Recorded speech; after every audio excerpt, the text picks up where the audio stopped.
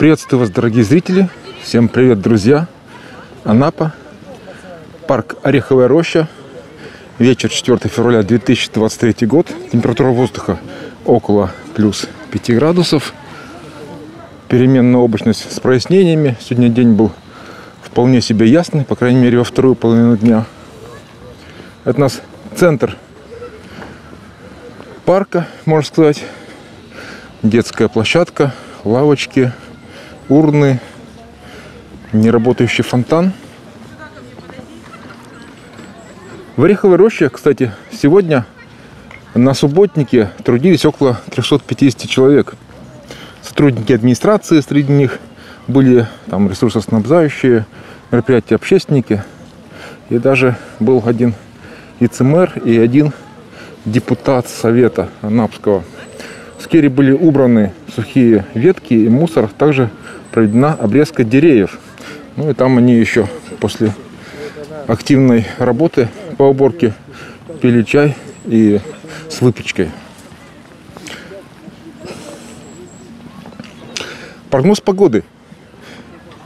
На всю следующую неделю обещает то, что ночью в Анапе будет минусовая температура воздуха, где-то порядка минус 1, минус 2, минус 3 градуса. И даже некоторые дни, например, во вторник и среду, тоже ожидается минусовая температура воздуха. А так днем будет около нуля, там плюс 1, плюс 2, плюс 3. Кстати, э, прошлой ночью в пригородах Напы выпадало немного снега. Но в самой Анапе снега не было. Выходим на новую набережную. Смотрите, как здесь великолепно, какие здесь виды классные. У нас, видите, сегодня такой облачный закат, не прямолинейный, но эта облачность прямо-таки весьма-весьма великолепна. Ну и понятное дело, что, что люди любуются сидя на вот этом специальном ряду из лавочек. Гуляют по набережной. На море сегодня небольшой прибой. О, как великолепно. Какие виды классные. У нас в Анапе небольшой эпидемиологический кипиш. В Анапе обнаружена корь и введены противоэпидемические мероприятия. Случай этого заболевания зарегистрирован у 7-летней девочки, ученицы школы номер 11, которая временно расположена на территории гимназии Эврика. Об этом сообщает главный государственный санитарный врач Анапы Лариса Медведева. Последний раз заболевший ребенок был в школе 26 января. До этого девочка находилась за пределами нашего субъекта федерации в регионе, неблагополучном по этому заболеванию – Специалисты Роспотребнадзора уже осуществляют необходимые мероприятия по недопущению распространения кори в Анапе. Противоэпидемические и ограничительные мероприятия введены в школе номер 11 и гимназии Эврика. В школе введено медицинское наблюдение, усилен противоэпидемический и антиинфекционный режим. Проводится обеззараживание воздуха. Изучается анамнез всех детей. Определен контактный круг в который вошли учащиеся школ первых, вторых и третьих этажей левого крыла здания школы Эврика.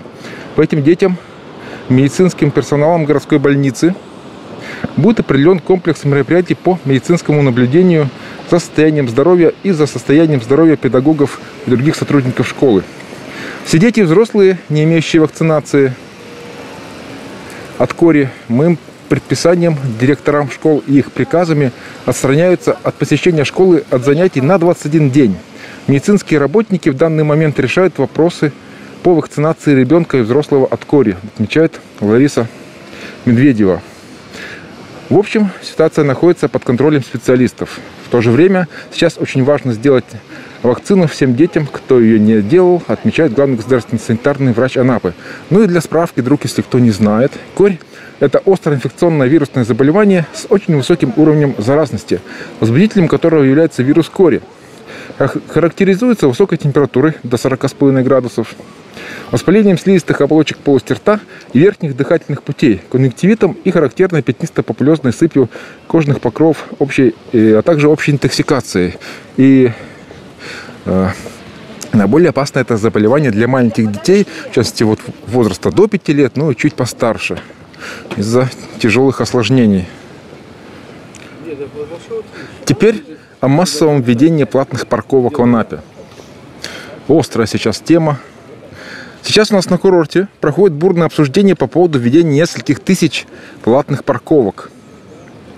Идея введения платных парковок заключается в том, чтобы замотивировать автовладельцев к более рациональному использованию общественного пространства на улицах города. Как раз это актуально в преддверии курортного сезона, когда в Анапу приезжают на отдых много тысяч людей на личном автотранспорте. Платные парковки, по идее, должны помочь разгрузить от чрезмерного обилия автотранспорта, в частности, центр города и прилегающие улицы. Но местные жители, которые привыкли парковаться бесплатно, категорически против такого нововведения, которое приведет к увеличению их расходов. К тому же, некоторые общественники Анапы высказывают опасения, что деньги, собранные на платных парковках, пойдут не на дальнейшее развитие курорта, а просто в карман предприимчивым дельцам. А это спуск на пляж 40 лет Победы со стороны улицы 40 лет Победы. Какие виды у нас, видите? Пасмурно-облачные. Сейчас у меня в комментариях очень часто спрашивают по поводу, какая погода будет в марте и апреле в Анапе. Ну, подразумевается, что типа раз у вас такая классная южная зима, то и весна тоже должна быть южной, великолепной, какой-нибудь очень теплый. Но э, правда заключается в том, то, что у нас март может быть по погоде очень прямо-таки разный. Бывали случаи, бывали года, когда в самом начале марта, там на 8 марта, например, температура воздуха была 20-25 градусов, то есть можно было буквально загорать, безветренно было почти что. Были случаи, когда около нуля, либо даже минусовая температура воздуха была в марте. Ну и у нас принято причислять март все-таки к месяцам межсезонья. То есть в марте может быть ровно такая же погода, как и сейчас, феврале, как и в январе, как и в декабре. То есть не факт, то, что будет в марте прямо-таки тепло-тепло, там, скажем, около 15 градусов. Даже апрель у нас считается не прямо таки уж очень стабильным по погоде месяцем. По крайней мере, первая половина апреля не считается такой классной по погоде. Вот только со второй половины апреля начинает погода раскочегариваться прямо-таки вообще на южный лад, чтобы радовать теплом, э, подогревать море. А вот все, что первая половина календарной весны проходит прямо-таки неоднозначно, весьма неоднозначно. Поэтому, если вы хотите приехать именно в тепло в Анапу, то планируйте свою поездку в Анапу именно э, не раньше второй половины календарной весны. Многофункциональная спортивно-лаунж развлекательная площадка – на спуске расположена. Здесь, видите, тоже лавочки-качельки, чтобы вот так вот сидеть, раскачиваться, еще и видами одновременно любоваться. Но опять же, свежий морской воздух, каким многолюдным этот спуск бывает летом, но и сейчас.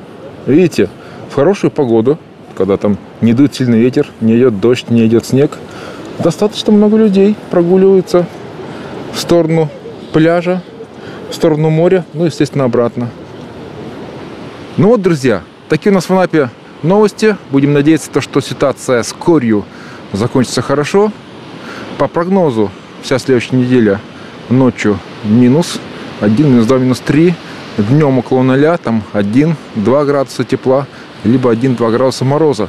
И потепление по прогнозу придет в Анапу только ближе к середине февраля. Друзья, ставьте лайки этому видео. Кто впервые на канале, смело подписывайтесь. Делайте репост. Пишите ваше мнение в комментариях по поводу всех тем, которые мы затронули в сегодняшней прогулке. Меня зовут Максим. Желаю всем добра, желаю всем мира. Все. Покедова. До новых встреч.